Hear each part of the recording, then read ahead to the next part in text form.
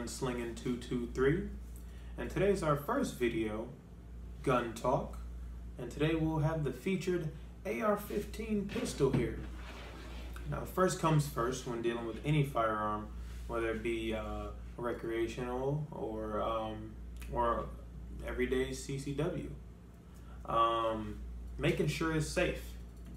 Today because we're just operating as a just a video recording and things like that. We're just gonna make sure that this one is uh that this one is safe to operate. It is clear. I'm clearing it now. Now, some people you may see that you know when it's time to check the uh, barrel of the gun, making sure there's nothing in there. They'll go to put their face next to the barrel and whatnot, and that's not safe. So I would recommend taking any type of flashlight, putting it to the front of your barrel, looking down the ejection port, and if you see light unobstructed, then you know that it's clear. The magazine well, the same. Now the magazine well, sure it is big, but there's no over exaggeration when it comes to firearm safety, guys. So just bear that in mind. Now, let's get off into today's video. This is my pistol. There are many like it, but this one is mine.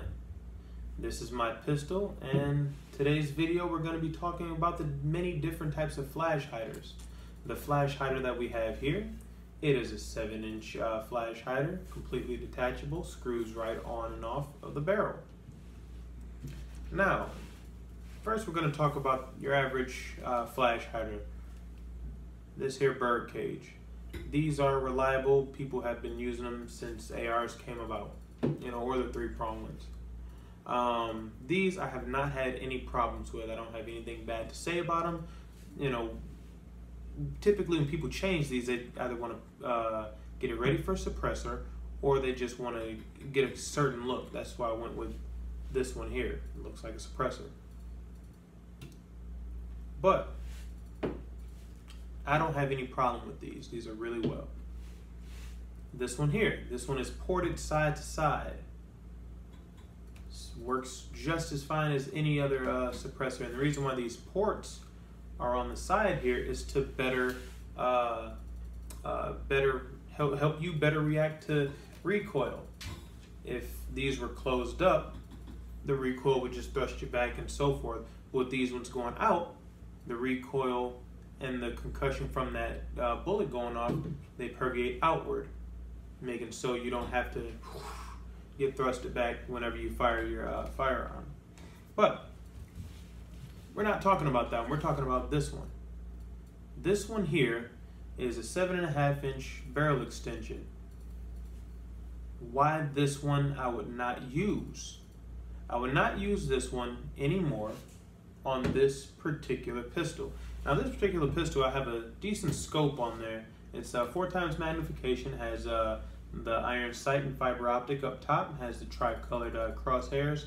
Overall, really decent scope for not that uh, not that uh, expensive. I think it was like hundred and something bucks. Um, this does not complement this. This is not complemented to the point where I'm gonna take this off. Actually, you know, I have uh, no use for it on this particular uh, pistol. The reason why is because I have, this has a seven and a half inch 223 Wylde barrel, and you have seven and a half inches of spiraling of lands and grooves. So seven and a half inch of bullet, you know, of barrel, you know, your bullet is traveling through, and then it gets the slap in the face travel of seven more inches of non-grooved and rifled uh, barrel, so to speak. So you got a smooth flow up until this point, and then the rest it's kind of tumbling its way outward. So your shots are going to be more of a tumble than a direct hit. And any uh, novice or um, uh, even the more experienced shooters, we all know that this is not good and it does not complement a scope because if you were using a scope, you want the shot to be a certain uh, be a certain way. You want it to be more crisp. You want it to be accurate. With a tumbling bullet, you cannot pull that off. I don't care who you are, what, how you know you move to the point where you compensate for this, that, and the other. It doesn't work. So, simply to say the least, I would not put this on a pistol that is this short. I've had several uh, pistols. I've had uh, the highest being 10 and a half inch. You know, I've had eight and a half inch. Um, and these just, they just don't work for here. These do have a purpose. You can put these on a rifle and the outcome may be a little bit different because it has a longer travel of spiraling. So to be able to go quickly through this seven and a half inch, we got six, 16 and a half inches of barrel and then this, this will be no problem.